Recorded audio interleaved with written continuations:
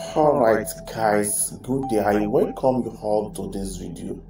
I received this message from one of my um subscriber that um this method in which I explained how you can fix your application by using your mobile phone.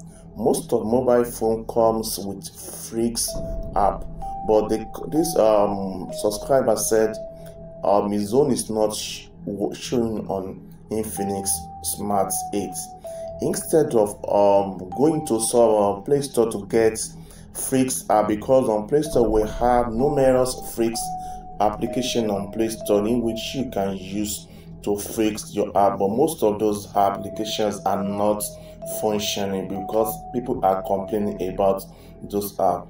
In this video, I'm going to show you a simple method in which you can use instead of freezing your app. What you are expected to do is to long click on the interface of your app. You will see where we have desktop settings, click on it. Now scroll down, you will see where instead of um where we have hidden apps, click on it.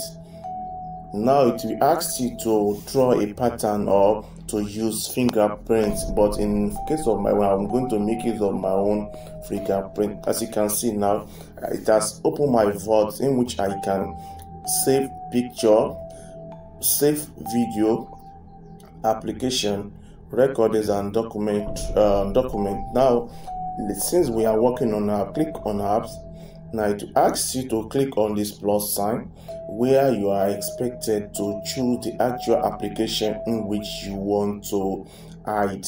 Now let me try to hide this uh, ChatGPT. Now click on it and click on confirm. It means that ChatGPT has been hiding on my app. Now I can't see it on my app anymore because I've hiding ChatGPT. This is type of the freezing application which I was telling you before, but those applications are not functioning well.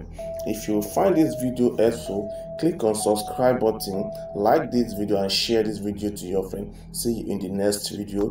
Bye for now.